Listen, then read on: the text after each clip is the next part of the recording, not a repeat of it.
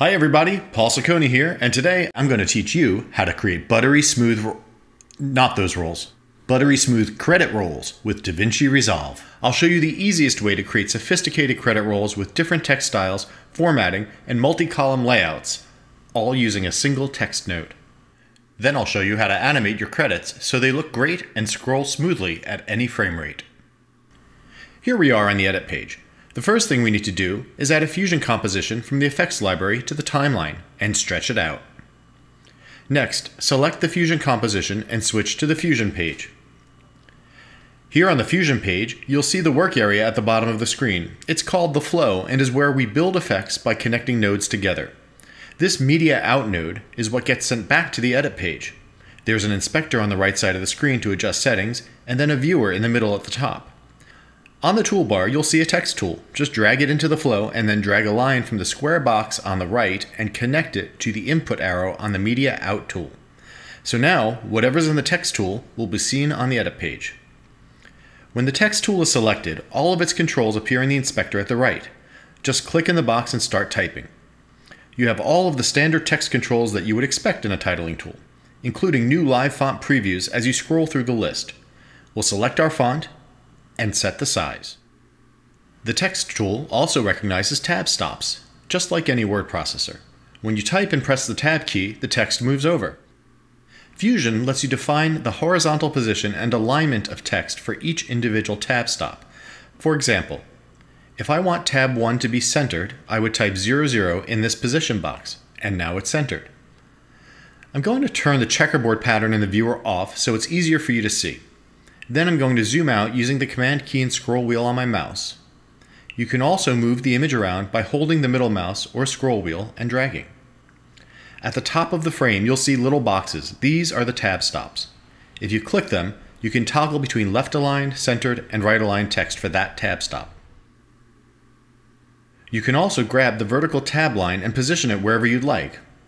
Let's reset this in the inspector. Now we'll add a second tab stop and we'll type character name. Then we'll go down another line and tab over three times and type actor name. Whenever I press tab, you'll see a new tab stop is added in the viewer. Now let's set up custom positions for each tab. I'll go into the tab menu, select tab 2, align that to the right, and move the position to about here. Next, I'll do tab 3, change the alignment, and move its position to about there. I can also type the numbers in the inspector to place it exactly where I want it. Now it's starting to look like something. So what happens if I take these tabs and put them on the same line? Now I have character name next to the actor name, and if I put a tab between them, this is my third tab stop on the line, the actor name moves into the column that we set up. Let's show you another one. Hit return. Tab twice, one, 2, type a character name, tab 3, then I type an actor name. Tab 1, 2, character, tab 3, actor.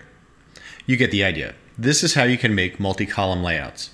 Now, you can also change the individual style for any character. To do that, right-click in the text box and turn on character level styling. When you do, you'll see the modifiers option light up at the top of the screen. Click on modifier, go into the viewer, lasso to highlight the text you want to change, and then change the font and size for the selected text. And then you just repeat this process until you get all of your text in. I usually set up long credit rolls in a word processor. Let me show you how that works. Here's my credit roll on the right side. Tab 1 is everything that's going to be centered. My two column layout uses tabs 2 and 3 for the left and right columns with the text aligned accordingly. My three column layout uses tabs 4, 5, and 6 to be the left, center, and right columns respectively. Now, let's see what that looks like in a word processor. On the left side, I've got a reminder of what each tab stop is used for, and on the right, I've got a Pages document with my credits. I'm going to go to the View menu, and whether you're using Pages or Word, you can turn on the invisible characters that allow you to see the tabs, which look like little arrows. These are one tab, so we know they'll be centered. Then we get to the two column section and you'll see two tabs, a character name, a third tab, and an actor name. Two tabs, a character name, a third tab, and an actor name. And we keep repeating this process. For the three column layout, I tab over four times, type a name, fifth tab, type a name, sixth tab, type a name, and all of those names will go where they're supposed to go.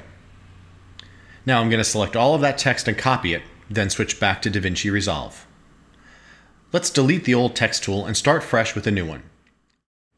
I'm going to paste my text in there. It does look like a little bit of a mess right now, but let's just get this set up the way we want it with our font to start, which is Avenir Next, the demi bold style, and set the size of the font way down. Now we're going to set up our tab stops. Tab 1 we want to be centered, so we'll type 0. Tab 2 we want to set at negative 0.009 and we want it to be aligned like this. Tab 3 we'll set at positive 0.009 and set the alignment.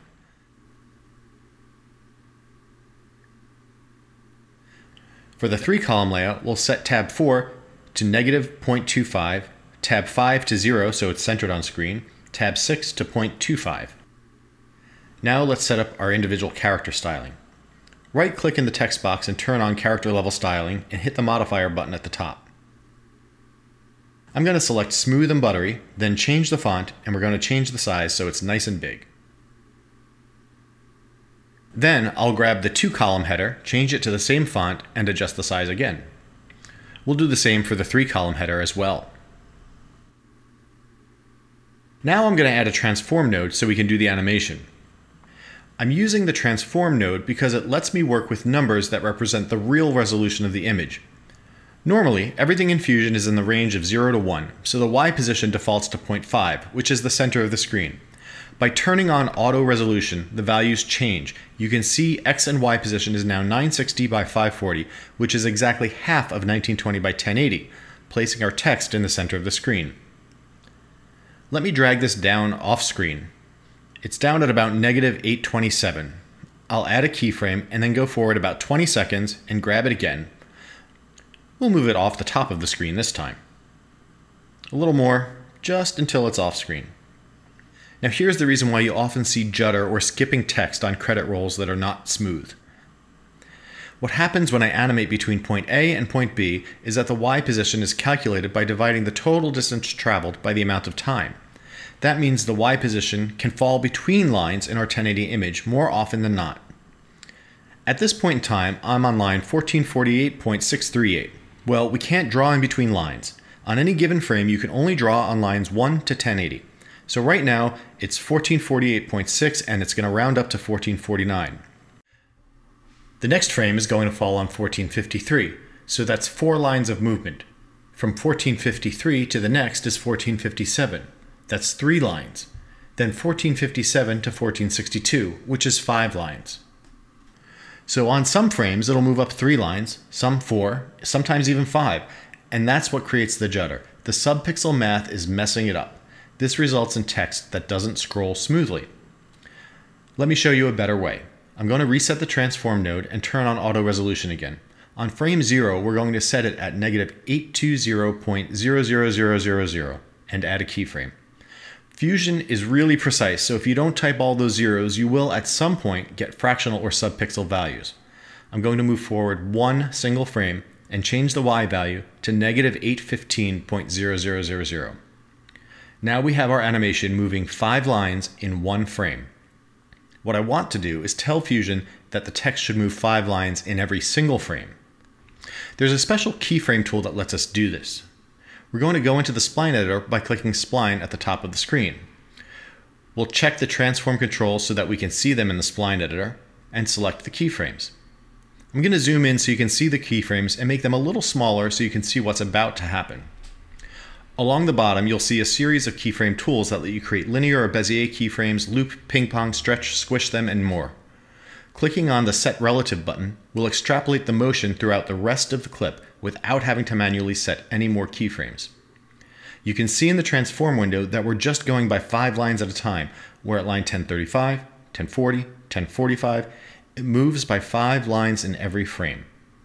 Let's go back to the edit page and take a look you'll see that our credit roll takes about 17 and a half seconds. If you wanted to make the credit roll longer, you could do a couple of things. You can make the text bigger and longer, or you can change the animation. Let's change the animation. We'll go back to the keyframe at frame 1, turn off the relative extrapolation, and change the y value to negative 818. So now we're only moving two lines per frame. I'll turn on Set Relative again. Now you'll see as we step through the animation, it's still moving in whole numbers, but now we're only moving two lines per frame 220, 222, 224, 226, 228, and it just keeps going.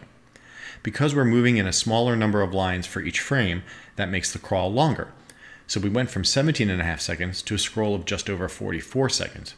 So there you have it. Now you know how to use the Text Plus node on the Fusion page to create text with character level styling and tab-based multi-column layouts, all in a single node.